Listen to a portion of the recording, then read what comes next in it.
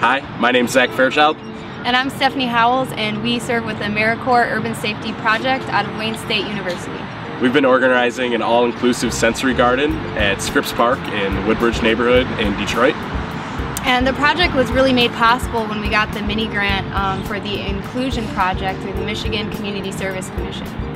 And this park um, is a community park that serves a diverse group of people from um, families and students living in the Woodbridge community. There's even a homeless shelter out of the church across the street.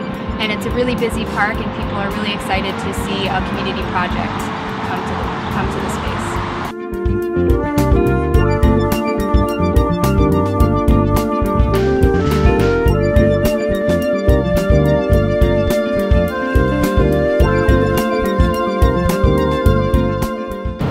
Hi, my name is Sandra Conley Edwards, and I am a recent alum of Wayne State University's AmeriCorps program, AMUS, which is AmeriCorps Midtown Urban Safety Project. I did a lot of things, including finding resources for the urban garden. It required me to learn the various types of plants and, and which ones had the qualities that we were looking for in order to allow someone to experience a garden using their five senses.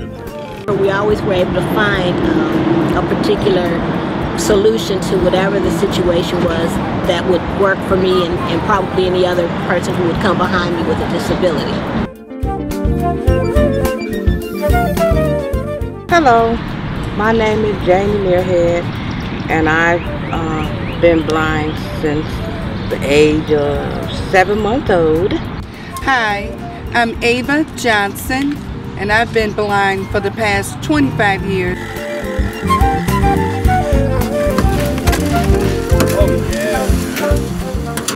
And as far as Scripps Park is concerned, it is the neighbor to our library for the blind and physically handicapped.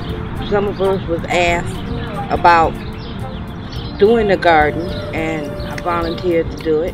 What we did was came out here and had to uh, dig up the ground, playing in the dirt, so to speak. It was kind of fun. Of course, you better not wear no good clothes, because of course they get dirty.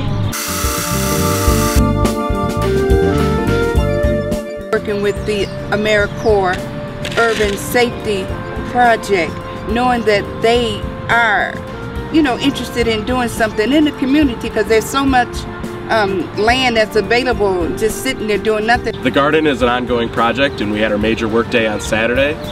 But we still have a lot of work to go and we'll have um, continual work days throughout the summer.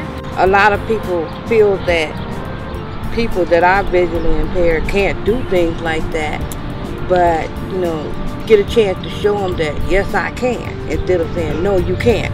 You'll say, well, yes, I can. I can do it too, just like everybody else. Bye.